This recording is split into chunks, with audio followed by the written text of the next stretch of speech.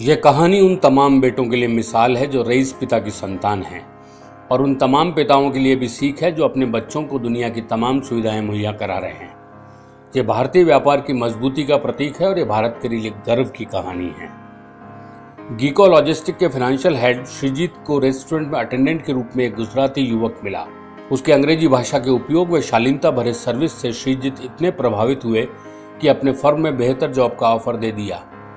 श्रीजीत के ऐसा करने पर उनके दोस्तों ने आपत्ति जताई और कहा, किसी अजनबी के साथ इस तरह विश्वास करना सही नहीं है।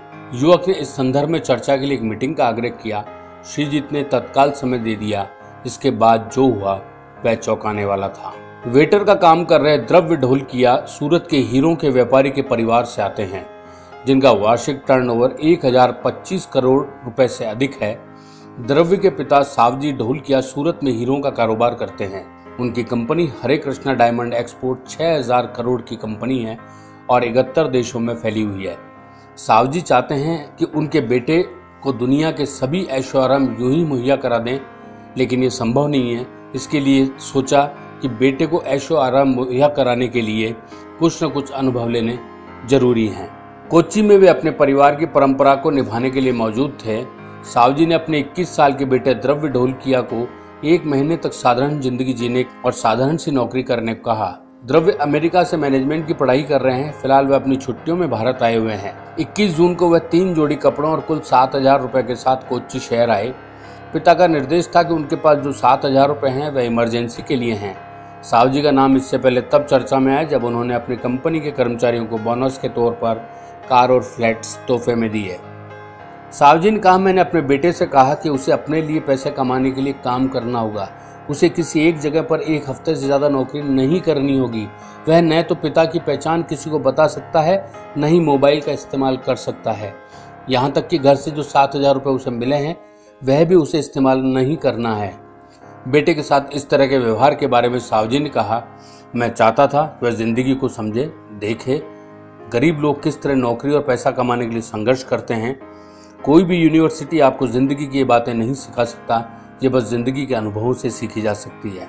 द्रव्य ने पिता को दी हुई चुनौती दी, स्वीकार कर ली, वह एक ऐसी जगह जाना चाहता है जहाँ की स्थितियाँ उसके लिए नहीं हो, यहाँ तक कि वह भाषा भी अलग हो। सावजी बताते हैं कि उसने कोच्चि आने का फैसला किया, उसे मलयालम नहीं आती थी। जहाँ हिंदी आमतौर पर नहीं बोली जाती है। अपने अनुभवों के बारे में बताते हुए द्रव्य ने कहा, शुरू के पाँच दिन मेरे पास न तो नौकरी थी, न ही रहने की कोई जगह। मैं साठ जगहों पर नौकरी मांगने गया और लोगों ने इनकार कर दिया। मुझे पता चला कि लोगों के लिए नौकरी क्या अहमियत हो। द्रव्य जहाँ भी नौकरी मांगने गया, उन्होंने झूठी कहानी सुनाई। उन्होंने कहा कि वो गुजरात के एक गरीब परिवार में पैदा हुए हैं और केवल बारहवीं तक पढ़ाई कर सके हैं। द्रव्य को पहली नौकरी एक बेकरी में मिली, फिर उन्होंने एक कॉल सेंटर, जूते की दुकान, मैकडोनल्ड्स में काम किया। पूरे महीने अलग अलग जगहों पर काम करने के बाद द्रव्य ने चार हज़ार रुपये कम द्रव्य कहते हैं, पहले कभी मैंने पैसे की चिंता नहीं की थी। यहाँ मैं दिन में चालीस रुपये खाने के लिए संघर्ष कर रहा था। मुझे लॉज में रहने के लिए रोज़ाना ढाई सौ रुपये चाहिए थे। और कितने मुश्किल से सब में एक महीने बाद वापस द्रव्य अपने घर लौट गए और अपने देश की अच्छी यादें लेके युवा डायमंड व्यापारी जल्द ही न्यूयॉर्क इस कहानी में एक सीख है, एक अनुभव बताया जा गया है कि एक डायमंड व्यापारी जो करोड़ों करोड़ों का मालिक है, लेकिन उसने अपनी संतान को ये बताने के लिए कि किस तरीके से पैसा कमाया जाता है। किसी भी कंपनी के लिए कर्मचारी कितनी ज़रूरी और अहमियत चीज़ होती है, किसी कर्मचारी को देकर कभी भी कोई कंपनी नुकसान में नहीं जा सकती है। जैसा कि इस डायमंड व्यापारी ने अपने तोहफे के रूप में, अपने बोनस के रूप में, अपने कर्मचारियों को। पिछले साल एक फ्लैट और एक कार भी दी।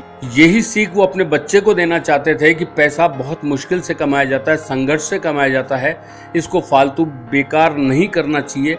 ये सब रसूखदार और रईस बच्चों की लिए एक सबक है और एक रईस पिता जो अपने लाड प्यार में अपने बच्चे को पद भ्रमित करने का एक रास्ता भी कई बार दिखा देते हैं।